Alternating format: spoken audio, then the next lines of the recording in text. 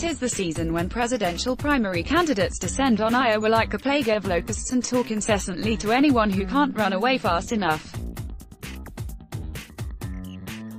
One of the prime targets is the state fair, where otherwise innocent fairgoers are badgered relentlessly while waiting in line for a corn dog.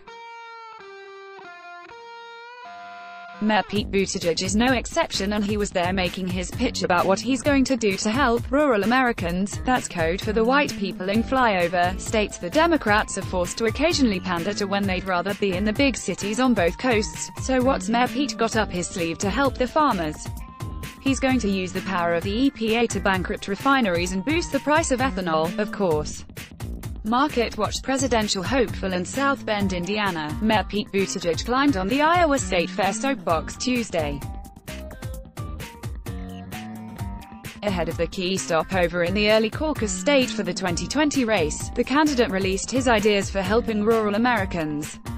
The proposal focused on internet access and supporting satellite college campuses, and it had a climate component. Buttigieg addressed ethanol and other biofuels. Pete will stop the abuse of small refinery exemptions established by the current administration, which allows fossil fuel giants to skirt their obligations to blend biofuels, the plan reads. I suppose this can't be considered much of a surprise. All the Democrats need to find a way to break through the static in Iowa and try to score an early victory in the primaries to build some momentum. And that means pandering to the ethanol lobby to win the love of the corn farmers. In the interest of fairness we should note that President Trump did the exact same thing in 2016 and continues to do so to this day. What Buttigieg is talking about is a subject we've discussed here at length. The Renewable Fuel Standard contains mandates for refineries to blend specific amounts of ethanol into gasoline. Older, smaller refineries that lack the capacity to do this are forced to buy shockingly expensive Renewable Identification Number RIN credits or face government penalties. These costs have already bankrupted one refinery in Pennsylvania and threaten to take down others. Their only path of relief is to obtain a waiver from the EPA, available for those that can demonstrate financial hardship.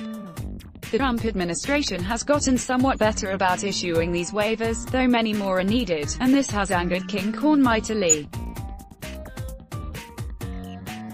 So what Buttigieg is promising is to put an end to those waivers, basically sending the smaller refineries off to sink or swim.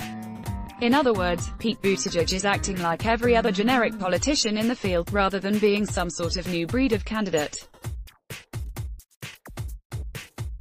But having made that promise, he will now have to explain to the voters in Pennsylvania, Louisiana, Texas and other states with a lot of refineries what happened to all of their jobs.